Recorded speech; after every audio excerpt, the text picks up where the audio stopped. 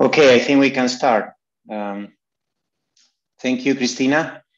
Um, hello, everyone. Welcome to this Safari Live seminar. It's my pleasure to introduce uh, our speaker today, Christina Giannoula.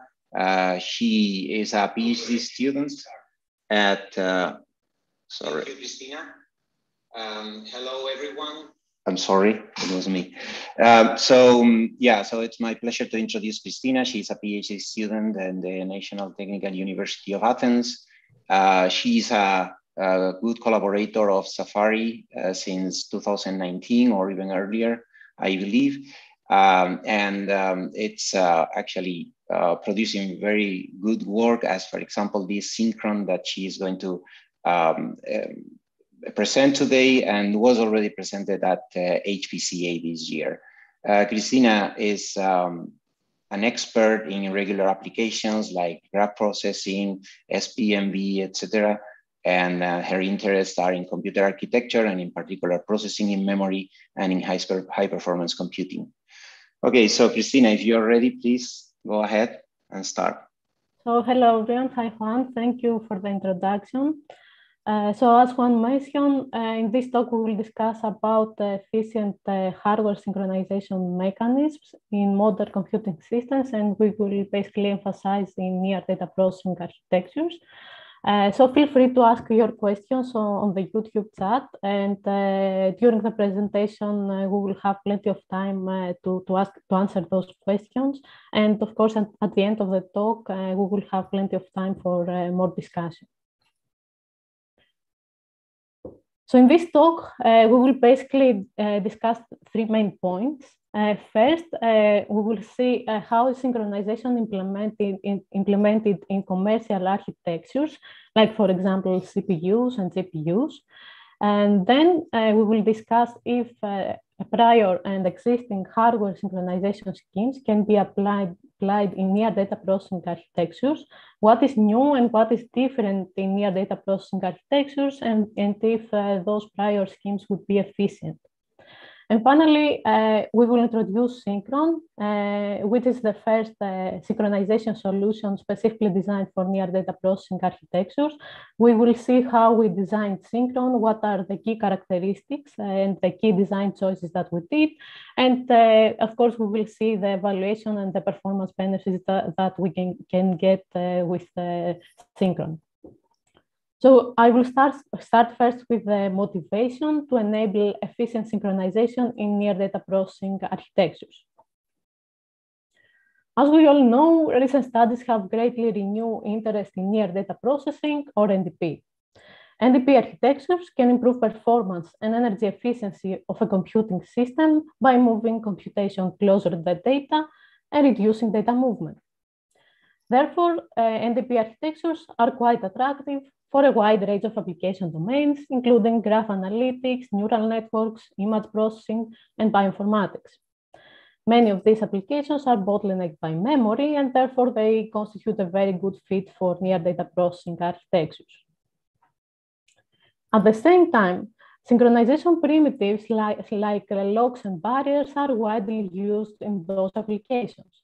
An example is a single source shortest path algorithm, which is a graph processing uh, benchmark, and it needs uh, lock, uh, lock primitives and barrier primitives to ensure correctness. Therefore, to fully leverage the benefits of near data processing architectures, an efficient hardware synchronization mechanism is needed. However, supporting synchronization in near data processing systems is quite challenging because near data processing architectures lack shared caches among NDP cores of the system, and thereby synchronization would need to be implemented via main memory, however, with a great penalty in performance and energy. NDP systems also lack hardware cache coherent support, and communication across the NDP units of the system is quite expensive. To this end, to address all these challenges, we have designed Synchron, Synchron is the first end-to-end synchronization solution for near data processing architectures. in this seminar, we will extensively discuss Synchron and we will show that uh, it is very efficient, provides high system performance, it incurs very low hardware area costs, it is very easy to use, and uh, generally supports a wide range of synchronization primitives uh, to cover a variety of emerging applications. So first, uh, we will examine the solution space for synchronization in near data processing systems. And uh, in this uh, section, we will basically discuss the first uh, two points of our agenda. So I will first start with the baseline near data processing architecture that uh, we assume in our work. Typical near data processing architecture supports several NDP units connected to each other, with each unit comprising multiple NDP cores close to main memory.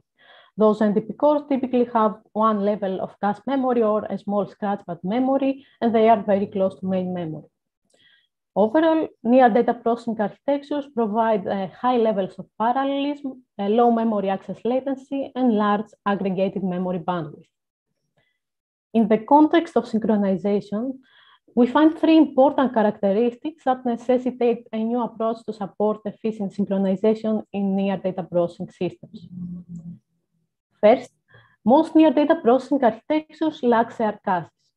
NDP architectures typically have a shallow cache hierarchy since NDP-suited workloads usually do not benefit from deep cache hierarchies due to their poor locality. They are very irregular a low latency shared cache could enable a very low cost communication and synchronization among NDP cores of the system.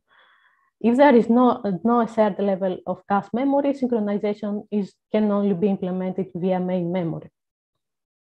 The second key characteristic is that typical near data processing architectures do not support conventional hardware cache coherence protocols due to very high area and traffic overhead. In general, hardware cache coherence protocols were introduced to, to the system to take benefit from low-cost uh, shared caches. Uh, so in those, uh, in those systems that they do not have a deep cache hierarchy, uh, hardware cache coherence protocol typically do not provide high performance benefits, uh, while they also incur uh, area and hardware costs. And finally, Near data processing systems are non-uniform and distributed, in which the inter-unit communication is quite expensive. The energy and performance cost of inter-unit communication is typically orders of magnitude greater than the cost of intra-unit communication. Thus, inter-unit communication may significantly, significantly slow down the execution of near data processing cores. Based on this architecture, we will examine the solution space for synchronization. So synchronization means communication. Cores needs to communicate, exchange information between them in order to coordinate and synchronize. So we find that there are two approaches to support synchronization, via shared memory and via message passing. In the first case, cores coordinate among them via a consistent, a consistent view of shared memory locations. Using the atomic read-write operations or atomic read-modify-write operations supported in the hardware, we can modify shared memory locations and communicate information and thereby to synchronize. In the second case, cores coordinate among them by exchanging messages. Those messages are implemented either in the software or in hardware, and they, uh, based on those messages, they, they exchange information and they reach an agree agreement, they synchronize. Both shared memory approach and message passing approach for synchronization are implemented through various mechanisms. In our work, we have uh, extensively uh, reviewed and examined all prior synchronization schemes proposed in the literature or uh, synchronization schemes that are commercialized in commodity systems and commodity architectures, and we classify them into different groups based on their, their approach to support synchronization. We will next discuss, if those prior synchronization schemes are a good fit for near data processing systems. So in commodity CPU systems, synchronization is implemented via the underlying hardware cache coherence protocols. The underlying hardware cache coherence protocols provide atomic read, modify, write operations, and cores can synchronize via shared memory approach. However, in most near data processing systems, uh, there is no hardware cache coherence protocols. Therefore, coherence-based synchronization primitives, which is the typical approach to implement synchronization in CPU systems, cannot be applied in near data processing systems. In GPUs and massively parallel, uh, massively parallel processing systems, synchronization is implemented upon remote atomics.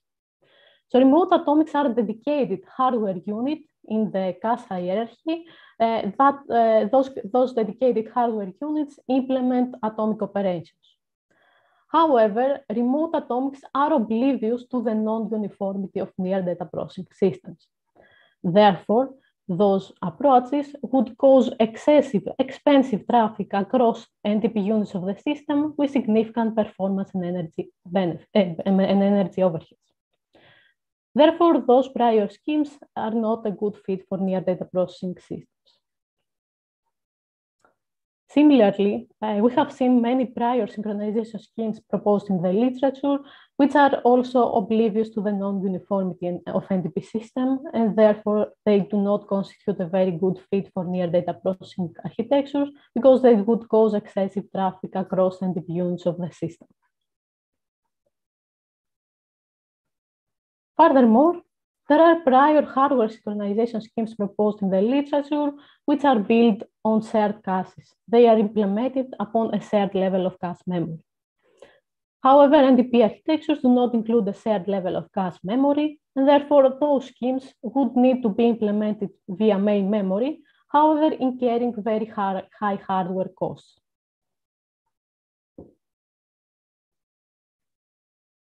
And finally, we have seen recent near data processing works. The most, uh, the most popular one is Tesseract. Those prior works proposed software-based message passing schemes that can be applied in near data processing systems.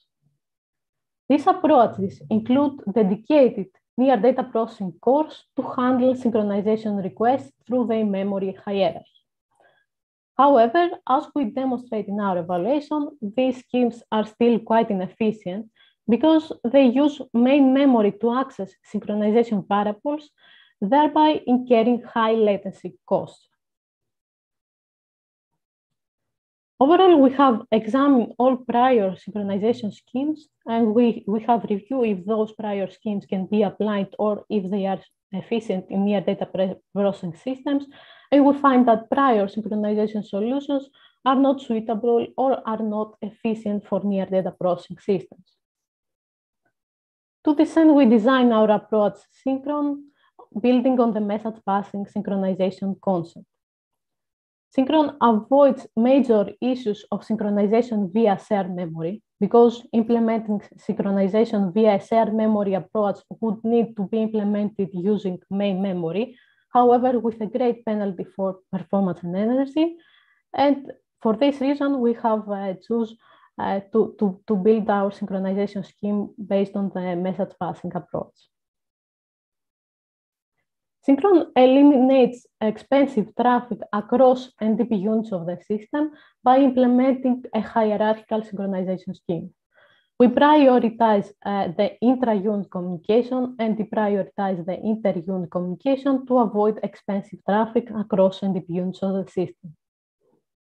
And finally, Synchron avoids using main memory to access synchronization variables by buffering all these variables in a specialized cache memory structure in order to minimize the latency costs.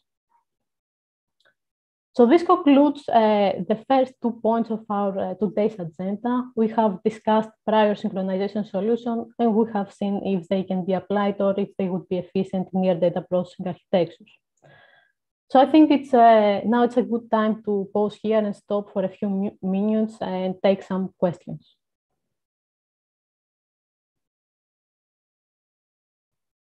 Okay, thank you, Christina. Um, I would like to ask one question uh, related to this slide. Um, the message uh, message passing, passing schemes. Uh, you, you mentioned that the software-based schemes are not efficient because they rely on main memory, right?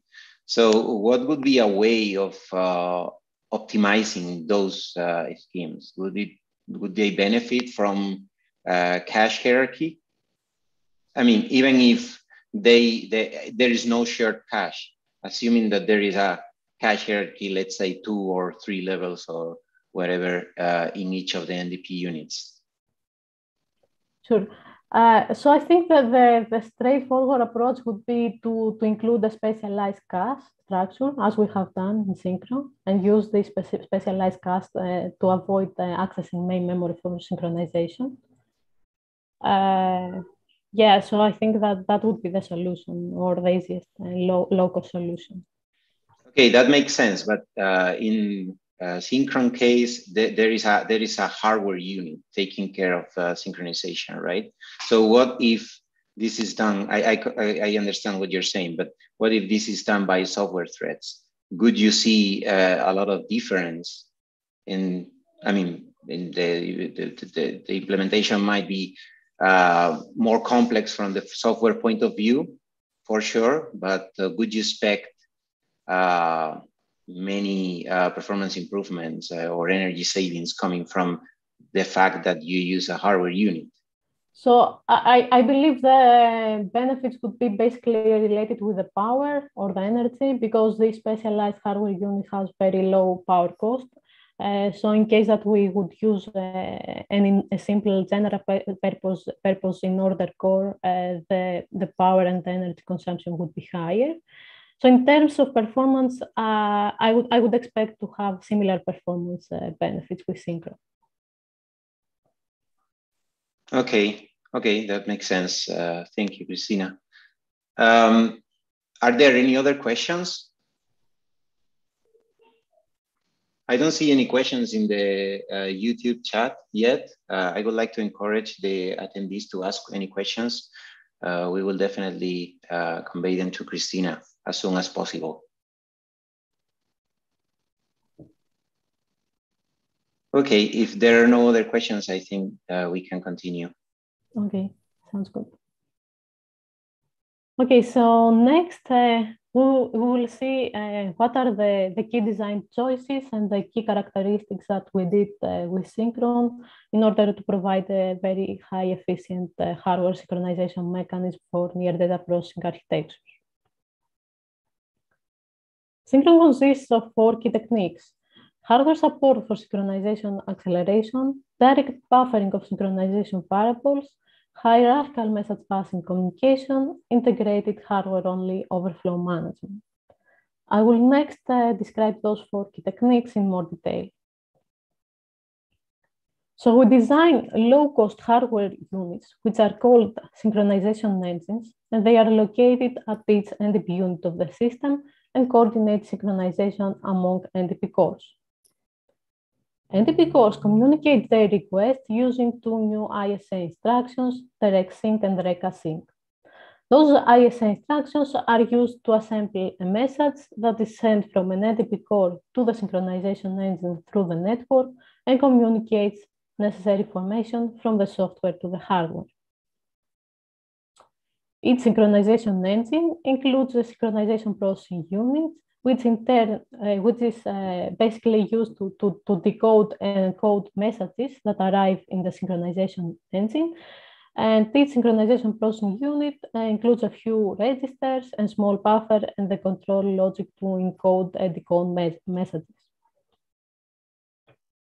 With the synchronization engines, we eliminate the need for complex cache coherence protocols and expensive atomic operations, and also incur very low hardware costs. The second key technique uh, is uh, uh, related with a specialized cache memory structure. We add a specialized cache memory structure, which is called synchronization table, inside each synchronization engine to keep synchronization information. The synchronization table keeps all information related uh, to coordinate synchronization among NDP cores and directly buffers all variables with very low latency costs. When a synchronization engine receives a request from an NDP core for a synchronization variable, the synchronization processing unit processes the message and directly buffers the request in the synchronization table, keeping all the information needed to coordinate synchronization locally. With the direct buffering technique, we avoid costly memory accesses for synchronization and minimize latency overhead. Synchron organizes the communication hierarchy. For a particular synchronization variable allocated in an NDP unit, the synchronization engine that is uh, physically located in the same NDP unit with it is considered as the master synchronization engine. The master synchronization engine is responsible to globally coordinate synchronization for that specific variable. NDP cores send synchronization requests to their local synchronization engine that is located at the same, in the same NDP unit with them. In the next level of communication, local synchronization engines communicate with the master synchronization engine by sending aggregated messages on behalf of all its local cores to coordinate synchronization at a global level.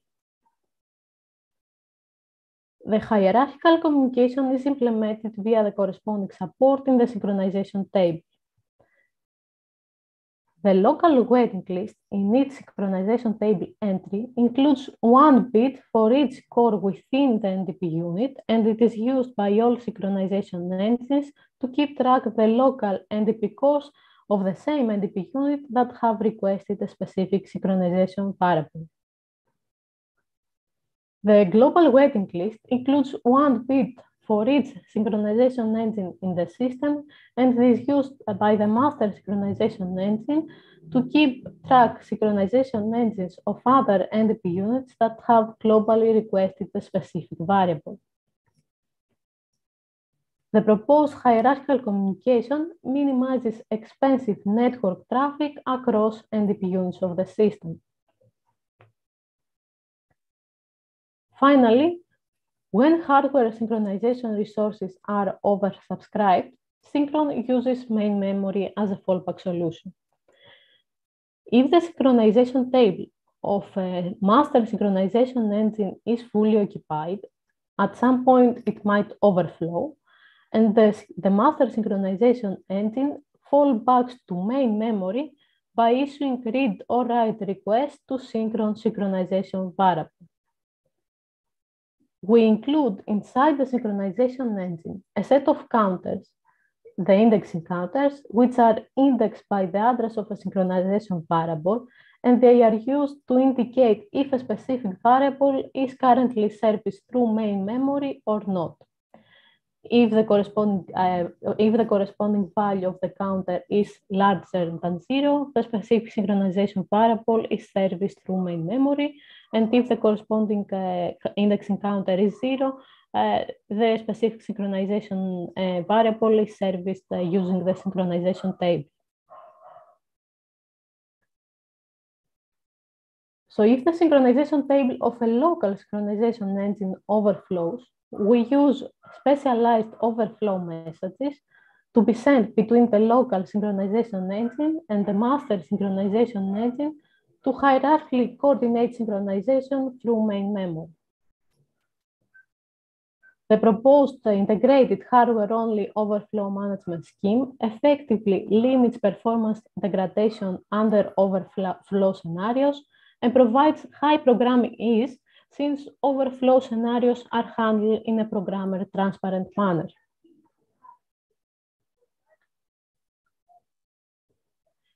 Synchron exposes to the user a high-level synchronization interface for the most widely used synchronization primitives, which are the lock, barrier, semaphore, condition variable primitives. In, uh, in general, all synchronization uh, primitives have similar principles. In order to coordinate synchronization, we basically need one queuing list, which uh, includes one entry for each processing core uh, in order to indicate if a specific core have requested a specific synchronization variable. And, and second, we need to hold a few more informations which are related with the specific condition that needs to be satisfied in order to synchronize. So all various synchronization primitives hold the, uh, need uh, this metadata information. So we have designed Synchron in hardware uh, in order to be very general and uh, easily extensible to support uh, many other primitives, like for example, reader writer locks or monitor primitives. So I will next describe uh, synchronous operation using the lock primitive. So I think that uh, before starting uh to, to describe the example of synchron, uh, I think uh, it's a good time to take some questions if there are any other questions.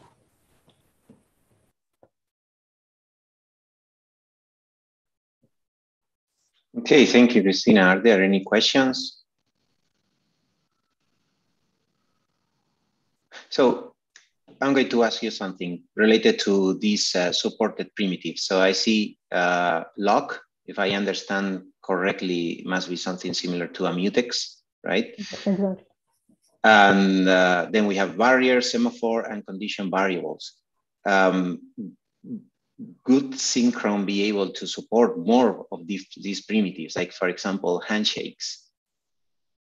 So I think that the Synchron currently uh, uh, holds uh, the, the, the, design of the synchronization table is uh, sufficient to support uh, many different synchronization primitives.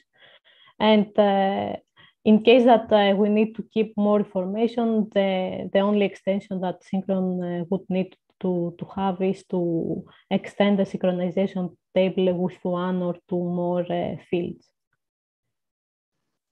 Okay, yeah, that makes sense. Sure. Uh, we have a question from uh, Aditya in the YouTube uh, um, uh, chat. Uh, I'm going to ask you. So, can the master synchronization engine become a point of contention due to incast of messages as we could scale the number of NDP units? And if so, how could this be handled? Exactly. So um, let me show you um, okay uh, great so uh, right now as we can see the master synchronization engine uh, is considered as master based on the address of a specific synchronization va variable so in case that the programmer allocates all synchronization variables to the same near data processing unit all requests will be uh, uh, will be handled by the master synchronization engine so in that case, uh, the master synchronization engine might, might be a bottleneck. Uh, however, in non-uniform and distributed architectures, programmers are very familiar to uh, make design choices about uh, related with good data partitioning. So the synchronization variables will be spread across multiple uh, near data processing units. So in that case, we will have uh, multiple uh, master synchronization engines for all the synchronization variables. So typically in that case, uh, I, I, think that that is the, the common case uh, whenever we program non-uniform distributed systems. So that in the typical case, uh, we don't believe that we will have a, a bottleneck scenario there. But as, as I said, this is based on the programmer's design to, to do that. I see, I see. That makes sense. Uh, there is a question from Marcello that uh, relates to this one is uh, how master scales and what is the maximum of local that it can afford? Uh, great. So uh, right now, uh, the, the local waiting list basically needs one bit for each NDP core meaning that uh, each entry only holds one bit for each NDP core. So right now in, in the in the simulator uh, we have like uh, 15 NDP cores, but uh, typically uh, scaling this to like uh, hundreds of near data processing cores within the unit could be feasible with lower hardware and area and area overhead because we only need to include one bit for each core. Okay, that's good. That uh, also makes sense. Um, I don't see any other questions in the chat. Uh, I don't know if there are other questions from the audience here. Um, Actually, I would like to ask uh, one question. Uh, Christina, does Synchron enable uh, implementations of some fairness mechanisms for different locks? And do you think that there are any uh, specific constraints to consider for fairness among locks in the context of PIM architectures? Okay, that's a very nice question. Thank you. Thanks. Uh, okay, so there are like uh, two concepts in the synchronization. The first one uh, is the fairness, and the second is the live, livelock. I will explain both. Uh, so the fairness is uh, related with the first come, first served policy. Whenever the synchronization uh, requests arrive in a specific order, the synchronization engine should, should serve those requests in the, that specific order. However, we violate this order in order uh, to deprioritize the inter-unit communication and improve the performance benefits. Uh, so right now, syn uh, Synchron does not provide fairness. And the second issue related with the fairness is that uh, we need some more information to keep them in the hardware. If the specific requests arrive in a specific order, we need to uh, design the synchronization table to keep that specific order locally in the synchronization table and then to serve the, the, the course in that order. So this uh, would cause, uh, a, a, a, the synchronization table would need to be slightly larger and we would have like slightly larger hardware costs. So that was a design choice that we did and uh, uh, basically we we don't uh, we don't have uh, fairness. And this the the fairness uh, scheme basically uh, is is typically implemented in software based synchronization schemes. If something in the is in the hardware implemented more complex in the hardware is not typically a very good design choice. And since synchronizing hardware synchronization mechanism we also did the same uh, design choice. And uh, the second uh, context is the livelock. So the livelock is uh, whenever a specific core asks a specific synchronization uh, variable consecutively. So we always uh, give that specific synchronization variable to that uh, core and all other cores are wait forever.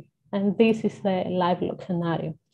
So uh, right now uh, we could uh, we don't have a, uh, we don't support livelock scenarios because we don't we don't believe that these are very common uh, in real world applications. Uh, we don't we haven't seen the that in the, in real world applications because whenever we have a critical section or we and a specific thread access synchronization variable, then we have some computation. So it very it's very rare to consecutive uh, that a specific call will access consecutively a synchronization variable. However, uh, again, uh, this would be straightforward to, to be implemented in the in Synchron's design. In order to avoid livelock scenarios, we could just include one small counter and a, a predefined threshold. And whenever we reach this predefined threshold, we will give the lock to another core that is waiting. So it would be like only one small counter uh, for each synchronization table entry in order to uh, guarantee that we don't have uh, livelock scenarios. Uh, thanks for the comprehensive answers, Christina. Um, there are two questions on YouTube. I'm going to ask uh, them back to back. So the first one from Eduardo is that is the design commercial or is it available as open source? Uh, so it's it's not commercialized in uh, in architecture yet. It, uh, we we have to, we did our analysis based on the simulation. Okay, and the next question is: Is there some sort of dependence checking, or are bad interleavings uh, impossible? Mm, I don't completely under, understand the question. Uh, in, interleaving of of what or I'm not sure. Maybe the um, person who asked this question, would you please provide more details? Uh, we will propagate it to Christina. Okay, yeah, and we can answer it later. Sounds good. Yeah, I, I guess it, it may be uh, related to using um, like nested mutexes or or something uh, similar. Oh yeah, I see. Uh, yeah, so in that case, uh, I, I, I, don't think that there are some dependencies uh, because we have different entry for each uh, synchronization variable. So uh, the synchronization tables typically have uh, multiple active synchronization variables at a specific time. I see. Okay. Yeah, related to the question from Eduardo, um, did you release your simulator, your implementation, or are you planning to do so at some point? So I will explain later uh, details about the methodology. So the way that uh, we simulate is uh, we uh, we use the latency from the Aladdin. Uh, so the, the, the worst case latency, uh, we, we have basically simulated synchronization engine using Aladdin tool. And uh, the Aladdin tool gives us that the worst case latency for a synchronization message to be serviced is 10 cycles. So the way that we did that in the in ZSIM is that we are, we basically add this specific fixed latency inside ZSIM. So we haven't done something complex in that sense. Yeah, okay, but that's good uh, because uh, that allows you uh, for uh, allows uh, people interested for sure to replicate your implementation and your experiments. Yes, yes, I, I will explain those uh, details later and how we simulate it. Sounds good. Thank you, Christina. I think if there are no other questions, I think we can continue. Yeah, there are no other outstanding, I mean, unanswered questions on YouTube right now. Okay, so next uh, I will explain Synchron's operation for the lock primitive. So let's assume a scenario where all uh, NDP cores uh, compete for the same lock variable, meaning that they all, all cores all cores request the specific synchronization variable. So in that case, uh, NDP cores send local lock acquire messages to their local synchronization engines. The local synchronization engines decode the messages and directly buffer the requests in the synchronization tables. Each time they set the corresponding bit in the local waiting list based on the NDP cores that have requested the specific synchronization variable. Then the local synchronization engine requests the lock from the master synchronization engine by sending one aggregated global lock acquire message on behalf of all its local waiting cores through the narrow expensive links that connect NDP units of the system. The master synchronization engine updates the global waiting list in the synchronization table, setting the corresponding bit for the local synchronization engine that have requested the specific variable. First, the master synchronization engine grants the lock to its local NDP cores, each time resetting the corresponding bit in the local waiting list. Based on the uh, set bits in the global uh, in the local waiting list, if there are no other local requests within the NDP unit, the master synchronization engine will grant the lock to the local synchronization engine of one NDP unit at each time. The local synchronization engine sets the request of each local NDP course, each time resetting the corresponding bit in the local waiting list. When there are no other requests from local NDP cores, which means that the local waiting list is now empty, the local synchronization engine releases its synchronization table entry. Afterwards, it sends one aggregated global lock release message to the master synchronization engine. The master synchronization engine resets the corresponding bit in the global waiting list inside the synchronization table. Given that both global and local waiting lists are now empty, there are no other pending requests in a global, at a global level.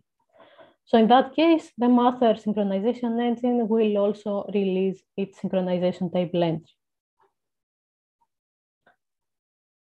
In an overflow scenarios where both synchronization tables are fully occupied, we design specialized overflow messages to be sent between the local and the master synchronization engine to coordinate synchronization using main memory. So we designed a specialized structure for synchron synchronization variable in order to keep synchronization information uh, globally. Uh, in case of overflow scenarios, uh, all those synchronization informations are kept in main memory. Uh, as, we, as we can see, the specific structure includes one waiting list for each NDP unit of the system and also includes some other fields which are related with synchronization information that we need to, to keep. So if there are any other questions, I think I, I will move on on the evaluation of uh, Synchron and we'll see the, the performance benefits that we get.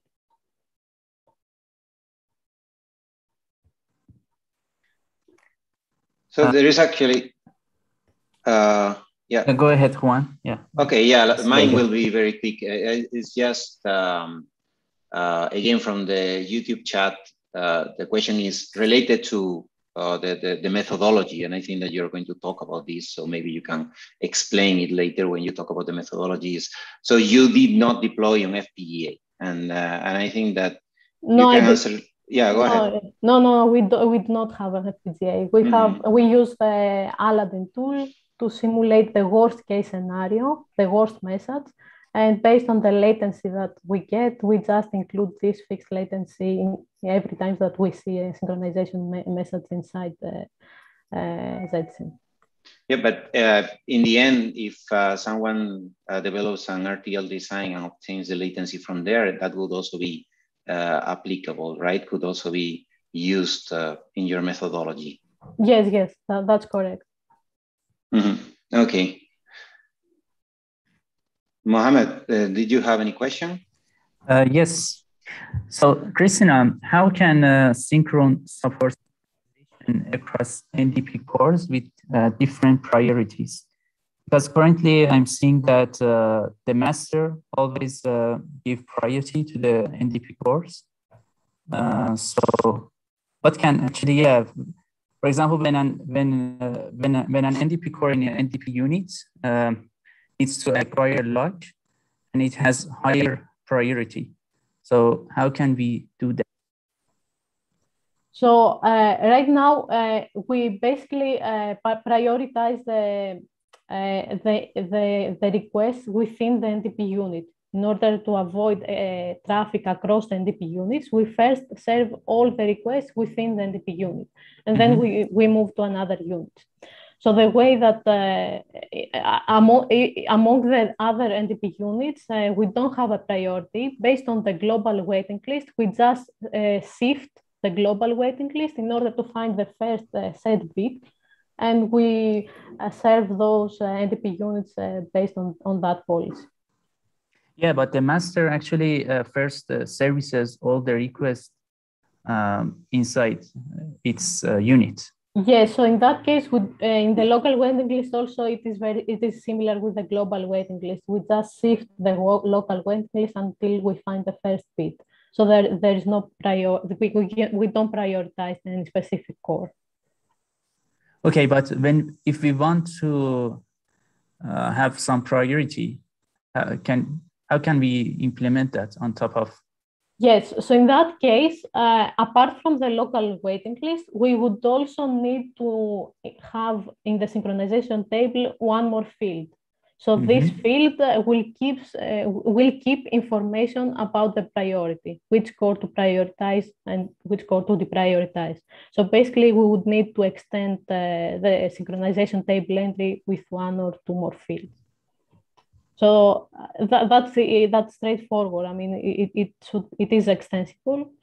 Uh, we we didn't do that because it is a hardware mechanism and we we wanted to have a low hardware cost and area cost.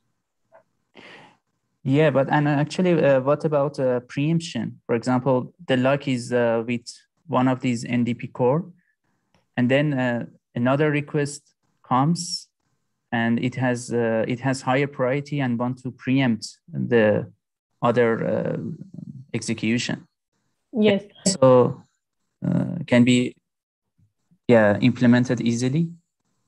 Uh, So I, I think those scenarios are most common whenever there is an operating system or in CPU system. So we did some assumptions uh, mm-hmm. because it's a near data processing systems and there is no, uh, typically there's no operating systems there. Uh, so I, we don't have typically those cases. I see. Okay. Thanks, Christina.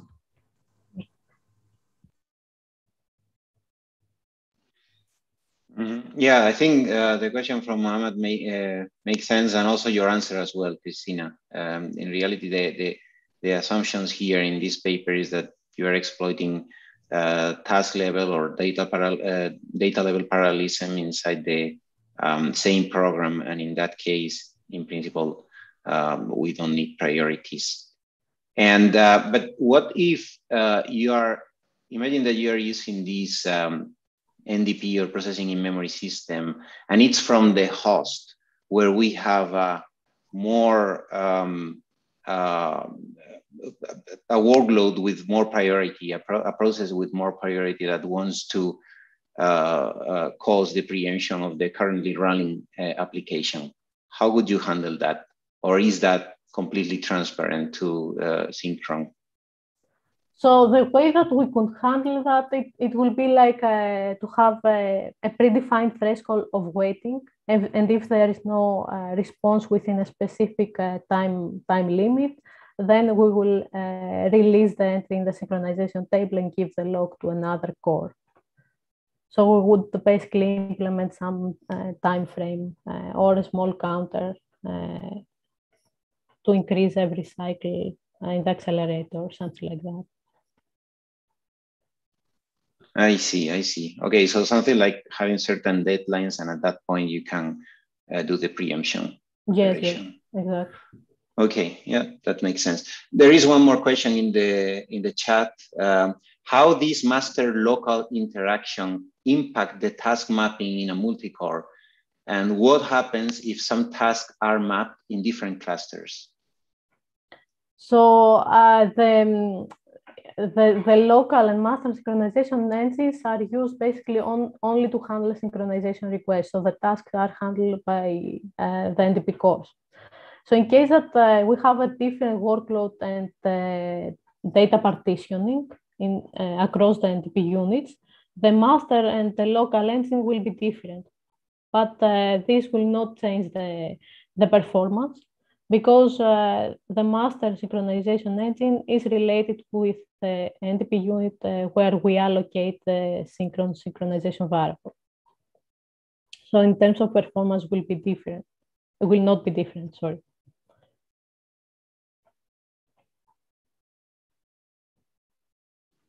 Okay, sounds good. Uh, thank you. I don't know if there are more questions. If not, I think you can continue. Okay, sounds good. Uh, so we use ZSIM and Ramulator simulators and we configure four NDP units and uh, we use the in-order course that uh, ZSIM provides. So the way that we simulate synchron components is that uh, we simulate the synchronization engine using Aladdin and we, we have uh, a fixed uh, latency for the worst case message, the worst case scenario uh, that, that uh, is served uh, within the synchronization engine, and we add this fixed latency inside ZSIM. So for the synchronization table and indexing counters, uh, we simulate them using CACTI, and the synchronization table is more or less one kilobyte and it has more or less uh, one, one cycle latency. So this uh, methodology that we use. Uh, so we studied three classes of applications. All of them are well suited for near data processing systems. Uh, we evaluate pointer chasing data structures, graph applications, and a time series analysis workload. We evaluate uh, all different synchronization scenarios more specifically, we evaluate both coarse grain locking and fine grain locking workloads. In the first case, uh, in the coarse grain scenarios, we have only a few synchronization variables that protect a large amount of shared data.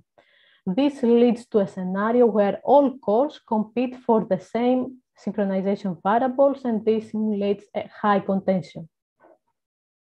In the second case, in fine-grained synchronization, we have uh, many, uh, many synchronization variables that protect a small amount of shared data. This uh, leads uh, cores not to frequently compete uh, with each other, not to frequently compete for the same synchronization variables, and then we have low contention.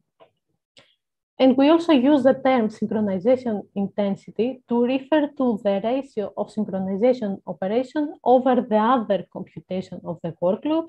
And as this ratio increases, uh, if, we, if this ratio is high, uh, the synchronization latency affects more the total execution time of the workload.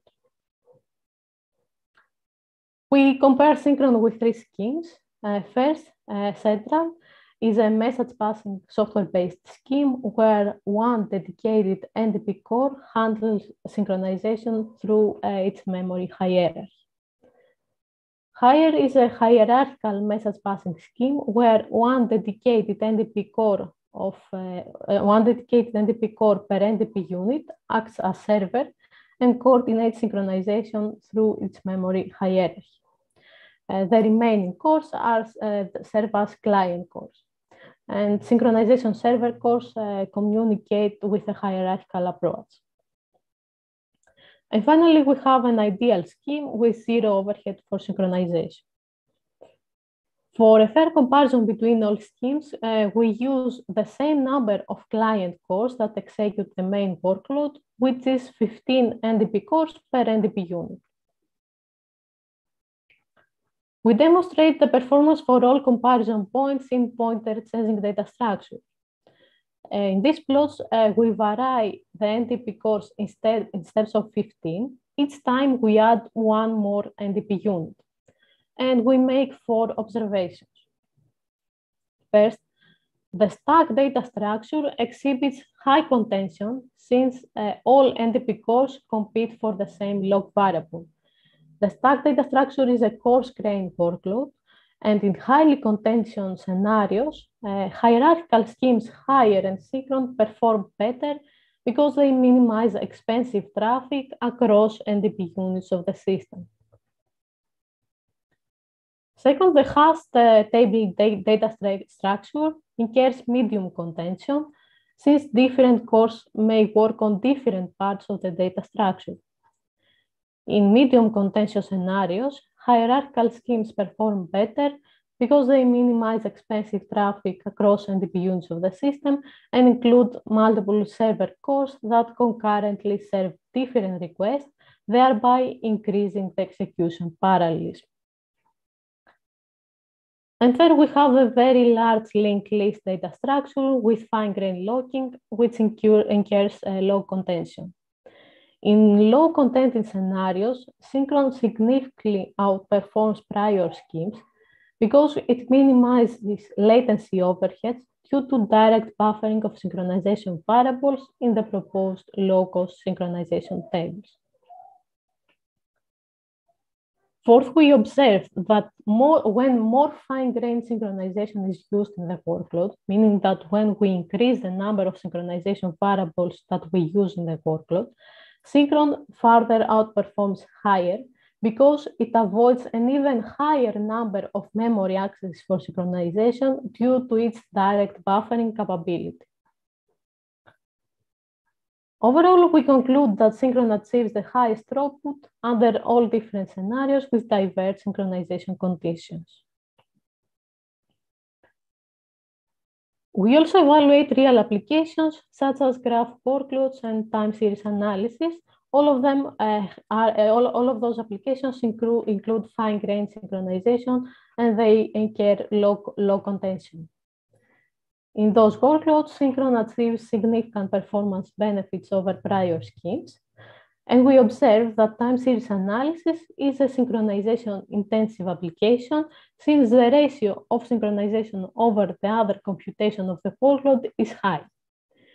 In synchronization intensive application, Synchron even further outperforms prior message passing schemes as the synchronization portion is higher in the total execution time.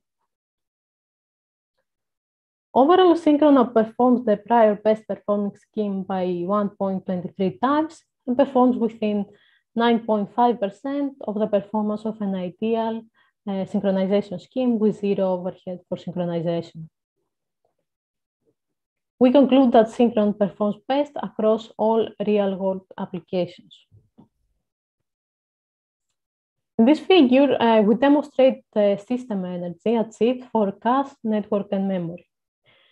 In real applications, Synchron provides high energy reductions over prior message passing schemes because it minimizes the network traffic due to its hierarchical approach. It minimizes the network energy and also it minimizes the memory energy because it avoids accessing main memory for synchronization due to its di direct buffering capability.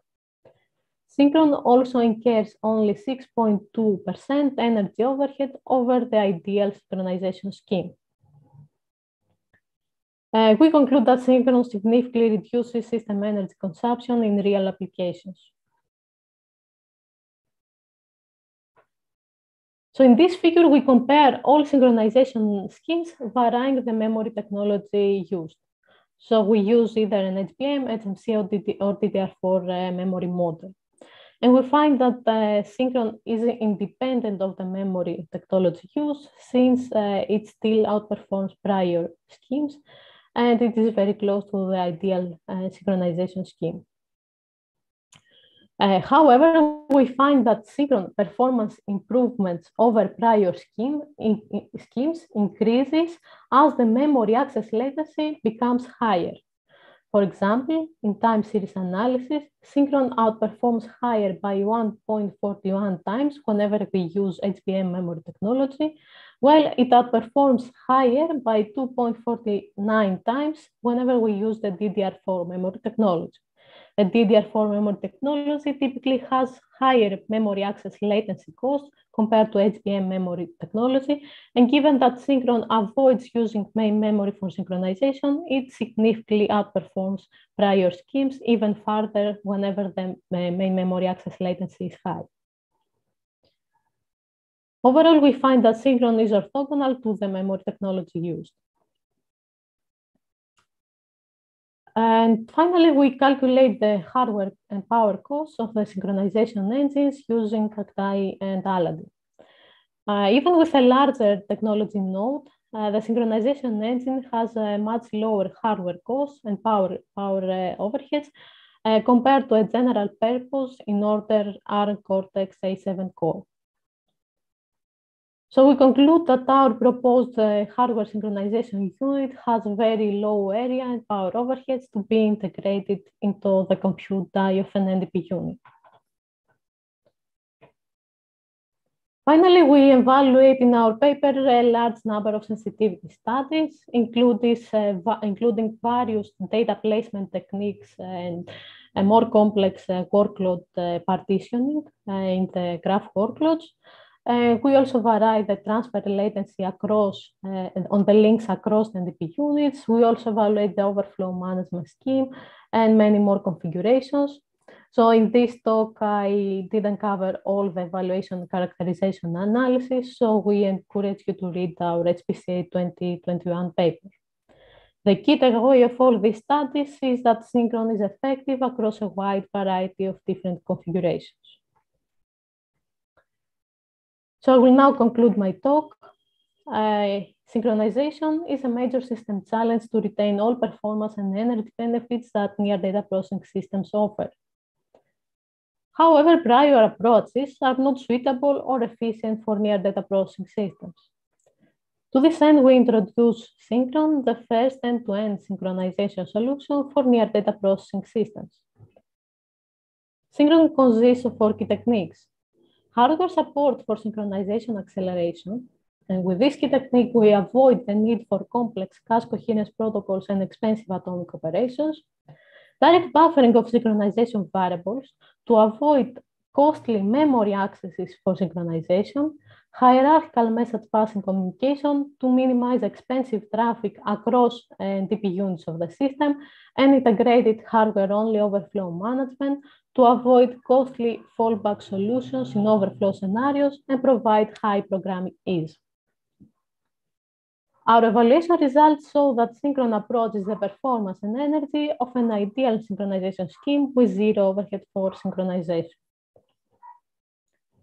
We conclude that Synchron is highly efficient, low cost, easy to use, and generally supports many synchronization primitives to enable, uh, to enable the widespread use and adoption of near data processing.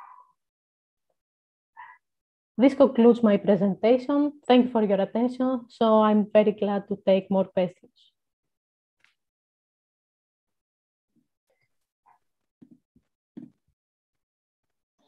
Thank you very, very much, good. Christina. Thank you very much, Christina. Nika, go ahead, please. Yeah, sure. I wanted to mention some question on YouTube. So Aditya is asking, how does Synchron compare with an optimistic locking approach to synchronization such as CoNDA? Oh, so I think that uh, I, I, I don't think that uh, CoNDA has a specific uh, synchronization scheme. Uh, as far as I remember, CoNDA uh, assumes that the baseline near data processing architecture has a, hardware cache coherence protocol. So they simulate a hardware cache coherence protocol.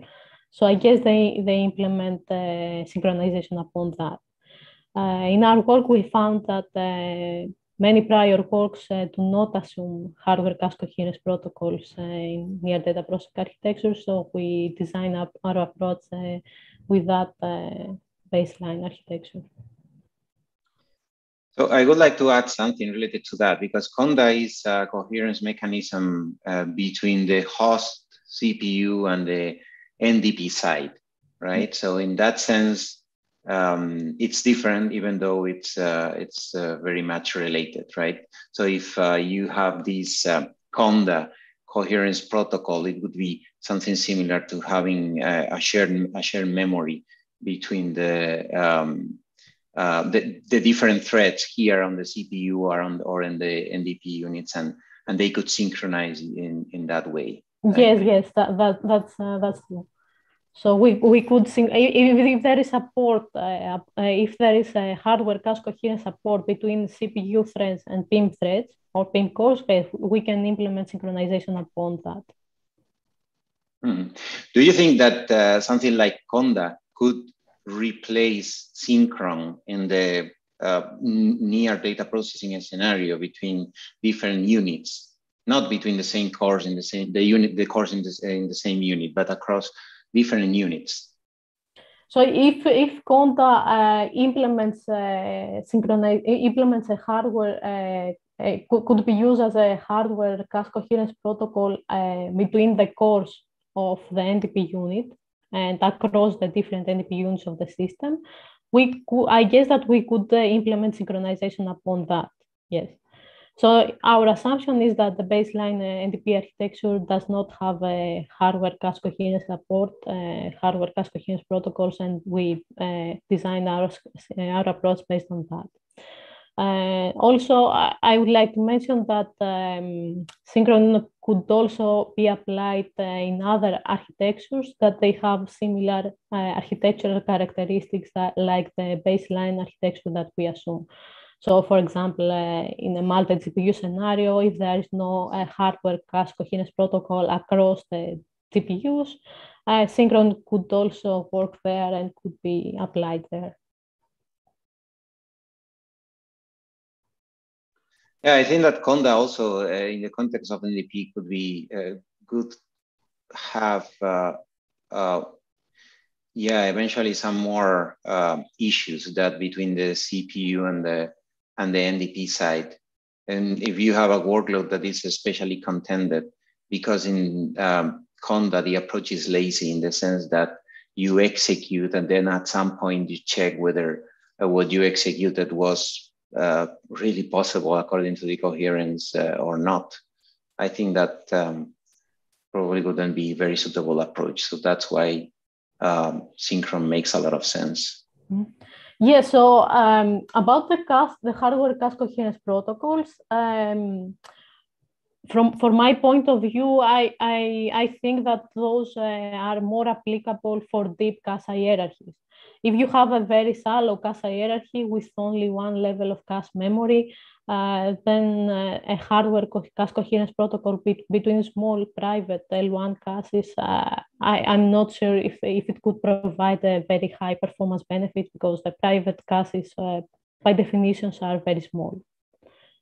Uh, so yeah, I, I believe that uh, hardware cache coherence protocols typically apply for deep cache hierarchies. Okay, thank you, Christina. Makes sense. Um, I think we have, uh, yeah, actually one more question in the chat is, could you mention the main limita the limitation of Synchron? And he says, sorry for this skeptical question. Oh, okay. Uh, so uh, I would say the main limitation is uh, the things that we discussed uh, about fairness and prioritization, because in the synchronization context, uh, fairness and prioritization, especially for the locks and the mutexes, are, are very important. Uh, however, uh, we did this uh, design choice because Synchron is a hardware mechanism so if we uh, we are trying, we were trying to, to ensure fairness and give prioritization inside the hardware, we would just uh, uh, need more uh, hardware costs, more area costs. Uh, so we did this uh, design choice not not to not, not provide fairness. However, if NDP systems do not have area limitations or hardware limitation, uh, it is uh, straightforward to extend Synchron uh, to provide fairness uh, by including uh, one or more uh, entries in the synchronization table to keep all the related information about fairness and prioritization.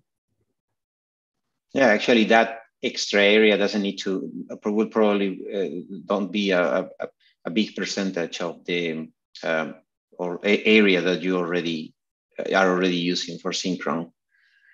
Okay, um, I think there is one more question. So um, from Eduardo, who uh, is interested on uh, FPGAs.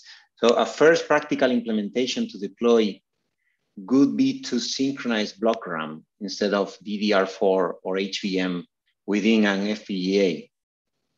And then the second part is, uh, and a RISC-V uh, core would work on one block RAM as uh, an NDP core or NDP node, sorry. Yeah, so I believe that uh, the memory technology used uh, is orthogonal to, to Synchron's benefits and Synchron's design, and uh, it, it, it can, can work with, uh, with them. Uh, so in that sense, uh, yeah, maybe could work also in, a, in, a, in the FPGA con context. Mm-hmm. Yeah, I think so too. Actually, this uh, relates to something that I wanted to ask you uh, because you showed some results where you evaluate different types of memories, right? Like HMC, HBM, and DDR4. And actually, these are uh, at least two of these types of memories are already being used in existing and um, uh, uh, real uh, processing in memory systems, right? So we, we have the, the recently uh, released uh, Samsung FIMDRAM that uses HBM, and, and then we have the UPMEM architecture released in 2019 that is based on DDR4. So good your uh, approach, syn uh, Synchron, be directly applicable to these architectures or what we, what uh, yeah would be needed um, or, or what would may change and also, second part of my question is uh, GPUs or FPGAs these days are using HBM memories. So could you adapt uh, Synchron as well to these uh, setup in GPUs, for example, where instead of having like, let's say tens of threads that you have in an NDP system that you evaluated on a GPU, you will probably have thousands. So how the, um, the, the design of Synchron would be adapted to different types of memories and also dif different types of cores. Okay, so thank you for the question. Uh, so uh, about the first part of the question, uh, as I mentioned, uh, Synchron does not use its main memory for synchronization. So it is orthogonal to all memory uh, technology, so it could work with uh, everything.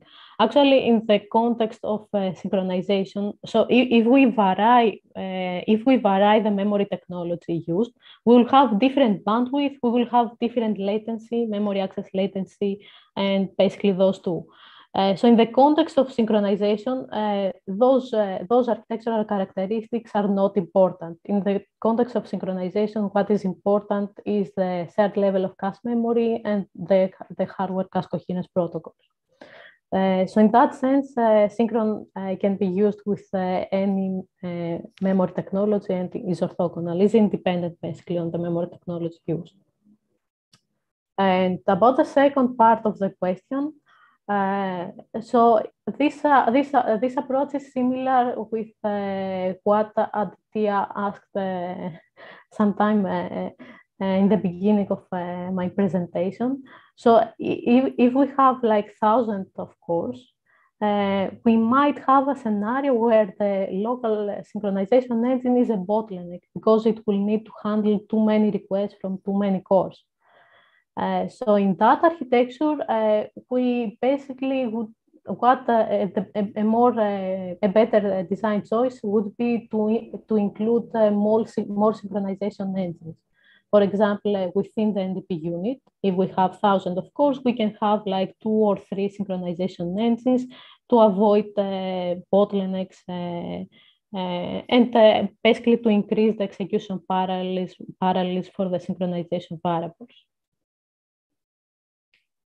So if the, the synchronization engines are uh, more than the ones that we assume, uh, the, the, hardware area cost will be slightly higher, but not too much because we have uh, one bit for each uh, synchronization engine in the global waiting list, uh, we basically need to have like one bit for each synchronization engine. So in case that we uh, increase the synchronization engines in the system, we will need to add one more bit uh, in each synchronization table entry in the global waiting list. Uh, so we would have a slightly higher area cost, but uh, I believe they are reasonable because uh, we target an architecture that it has thousands of cores, so we need to synchronize thousands of cores in that case. Okay, yeah, that sounds good. Thank you, Christina. Do we have any other questions? Yes, uh, I think I have two questions, Christina. So uh, the first one uh, is about uh, your methodology. So uh, the interconnection network that you consider to connect these uh, NT, NDP units, which is based on some known proposal or this is something that you just assume? So uh, that's a very nice question. Uh, actually, we simulate the latency on the links across the NDP units based on the prior works on prior literature. So we, we, we have a fixed latency there. However, uh, in our uh, paper, we have sensitivity studies uh, about the transfer latency across uh, the, on the links across the NDP units. So we have um, So we indicate basically the performance benefits of Synchron if the, the transfer latency is higher or lower with the one that we assume in order, in order to cover uh, future or other uh, near data processing systems. so, uh, so you you evaluated different uh, interconnection choices. Yes. So the, based on the latency of transfer. Yeah. Yes. Yes. Exactly. So um, the conclusion is that uh, if the if the latency on links across the NDP unit is very high, mm-hmm. Synchron's, be- Synchron's benefits are even higher because we have this hierarchical design and we are non-uniform aware. We are not oblivious to the non-uniformity. So in that sense, if the latency is higher, Synchron's benefits are also higher because of the hierarchical scheme. Mm-hmm. Yeah, actually, I can understand that, but uh, but uh, but also I can imagine maybe some uh, interconnection topology. Uh, someone can design uh, such that the central uh, the central proposal maybe can benefit from that for example, some tree-based structure or star topology that basically we have a master node uh, that's servicing many other nodes. So yes, yes. That way, maybe uh, your benefits compare, uh, compared to central uh, would be somehow mini, uh, less, it be, would be lower, I guess. Actually, I don't, I, I'm not sure, but I think it's good to also consider different topology, uh, effect of different topology in the in your proposal. Yeah, I, I see that that makes sense. Uh, so uh, one thing I wanted to clarify is that mm-hmm. uh, Central has one dedicated NDP core on the whole system that handles synchronization requests. So it is like only one dedicated NDP core across the whole system. So uh, I assume that uh, this might also create uh, very high overheads in the sense that it might be need, need might need to handle many requests and mm-hmm. Instead synchron uh, includes uh, many synchronization engines and in this way we increase the execution parallelism because different synchronization variables may concurrently served by different synchronization engines at the same time. Yeah i agree. Makes sense. And actually the depending depended to also juan's question regarding to apply uh, synchron in uh, UPMEM, for example, architecture, I think uh, the synchron cannot be much effective in the UPMEM or FIMDRAM unless we apply some uh, network communication infrastructure across these uh, NDP units, because I think uh, the current communication between these in UPMEM is not much effective. So, so the performance of Synchron would be, I guess, uh, limited there. Uh, so I agree on that in the in the sense that uh, right now this cannot be applied because there is in those systems uh, because there is no direct communication among NDP cores and those cores communicate uh, over the host. Yeah. Yes. Uh, so in that sense, in that scenarios, we can include the synchronization engines, for example, in the memory controllers, uh, and those uh, those cores uh, can handle synchronization uh, between the different teams and different uh, near data processing cores. Yeah, mm-hmm. yeah, that makes sense. And basically, the benefits would be higher, both in the sense that we we would uh, we, we have a, non-uniform aware design and also uh, we have specialized uh, hardware accelerators that have very low power uh, power costs so instead of using a host cpu core to synchronize the near data yeah. processing cores yeah. Mm-hmm. Mm-hmm. yeah makes sense and actually another question is that uh, how do you implement the ideal case actually, I can understand that uh, you, for example, consider zero latency for this uh, synchronization, uh, and uh, and and it uh, provides some performance improvement. But actually, I don't understand how to uh, calculate the energy for the ideal mechanism because when you want to calculate the energy, you need to somehow simulate some logic to um, to to have to consider the power consumption and then you can calculate the energy. So could you yes yes. So let me find the slide. Related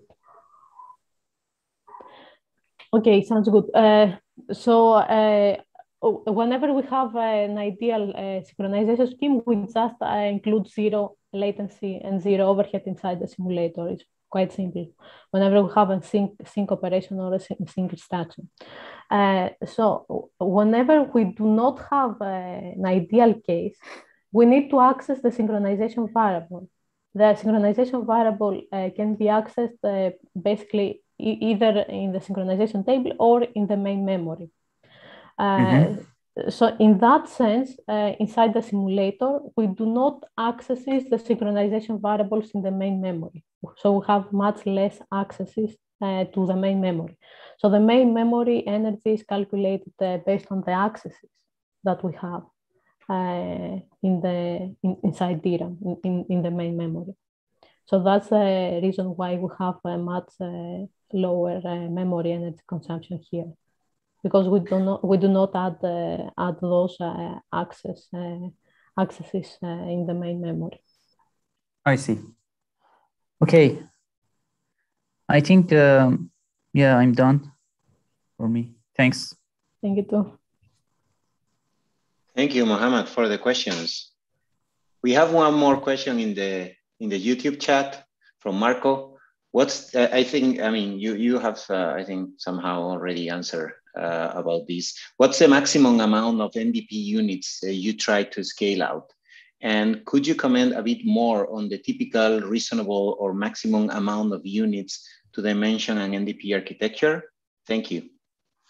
Sure. So in the simulator, we have four NDP units. We simulate uh, four uh, near data processing units. We do not have a sensitivity study on the near data processing units used. However, uh, the performance benefits are similar because each time that we add a new NDP unit, we also add a, a new synchronization engine to handle the request. Uh, synchronization engines are uh, one for each uh, NDP unit. Uh, so in that sense, uh, I, I, I, believe that uh, the benefits will, would be higher whenever we have more NDP units uh, because uh, Synchrons provides a higher benefit compared to prior, prior schemes due to its hierarchical approach.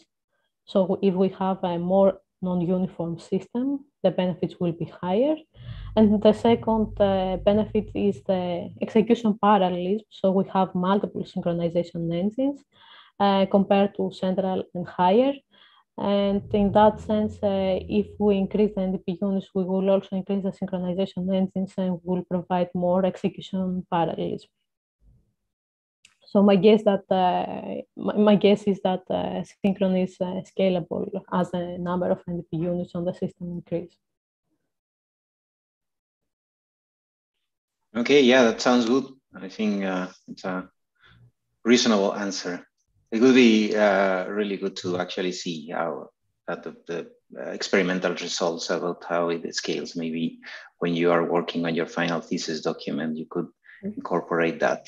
Yeah, that sounds good. Okay. Um, do we have any other questions? Nika?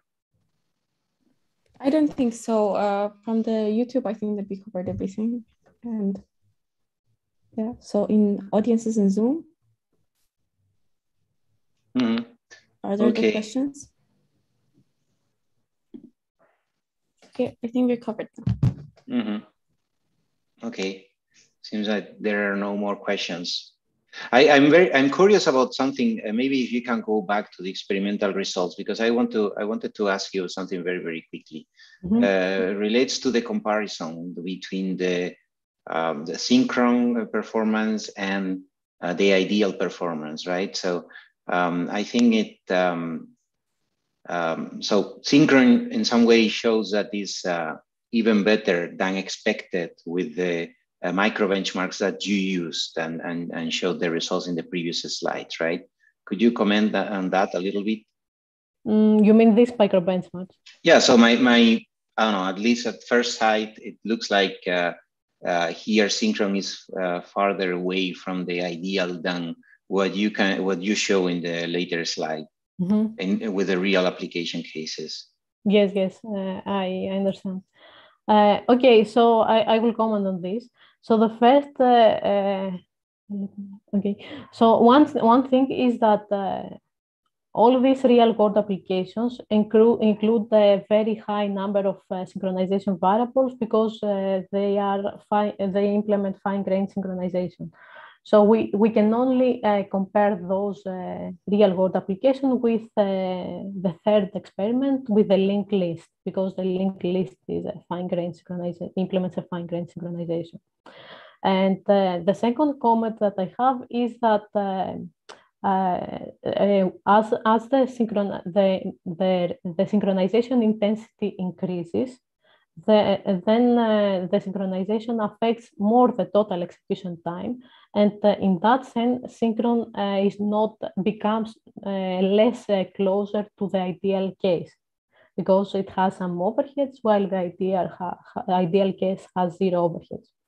Uh, so in that case, the linked list data extraction is a, a very synchronization intensive workload. And this is why uh, Synchron's performance, performance compared to ideal uh, is, is less. Uh, it, it, it, doesn't perform very close to the ideal.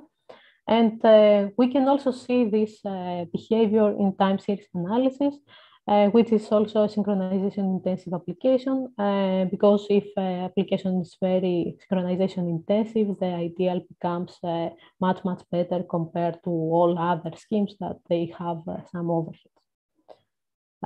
So yeah, compared to the micro benchmarks, I would say that um, the time series workload uh, has similar behavior with the fine grain linked list that we have here, this, um, the, third, uh, the third experiment that we have in this uh, slide.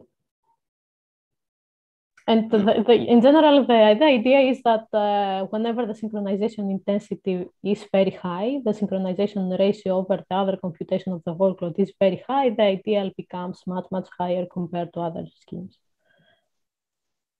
Mm-hmm. Yeah, that makes sense. Thank you, Christina. Um, I think we have one more question in the YouTube chat. Um, it's related to the methodology uh, again um, and, and, and the simulator that you use. So the question is, how is Synchron implemented within ZSIM? Uh, is it in C, C++, in Verilog? So uh, ZSIM is in C so that can handle all different synchronization uh, instructions. If you have like a, an addition, a multiplication, so synchron, uh, so ZSIM captures all these, these different uh, synchronization instruct, all, all these different uh, instructions, sorry. So whenever we see a synchronization instruction, we simulate that accordingly. If we simulate the ideal, we have zero latency. If we simulate the synchronization engine, we add this fixed latency that we have from Aladdin. So the simulation methodology is basically very simple. We just use the ZSIM and ZSIM already identifies the synchronization in instructions. And whenever we identify one of those instructions during the runtime, we simulate that accordingly. Okay, yeah, thank you. I think that's clear. Um, by the way, I shared in the uh, YouTube chat uh, a link to the repository of our DAMOV simulator. As, as you know, it's uh, very similar to the one that you used. Yes, yes, so exactly. people are interested, they could use it. Okay, thank you very much, Christina. Um, I, I don't have myself uh, any other questions or comments. I don't know if there are other comments or questions from people in the audience or last minute questions in the YouTube chat?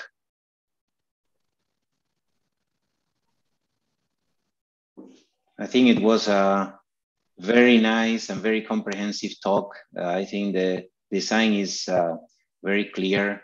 Uh, thank you very much, Christina. The, the performance and energy uh, savings that you can achieve using Synchron are um, actually very good for this type of applications. I, am pretty sure that we will see more work in this direction now that uh, we start having uh, real work uh, processing in memory architectures at some point. I mean, I, I believe that somehow these um, initial designs of processing in memory architectures are more focused on data level parallelism uh, that is a kind of regular, let's say, and can be um, efficiently handled by the, by the available engines.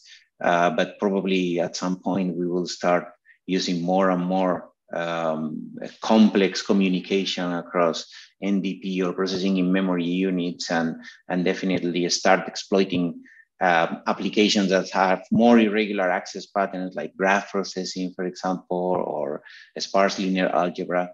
And, uh, and those for sure will benefit from the ideas that you have presented today. Yeah, that, that makes sense. I agree with that. So thanks so much for the question and the discussion that we had today. I really enjoyed that and thank you for the invitation uh, today. Uh, feel free to uh, reach me whenever uh, you need something or uh, you would like to discuss with me. Thank you, Matt. Thank you very much, uh, Christina. Very good job. And thank you everyone for attending this Safari Live seminar uh, I hope to see you all in the in the next one that you can find in our website. Thank you very much. See you soon. Bye. See you.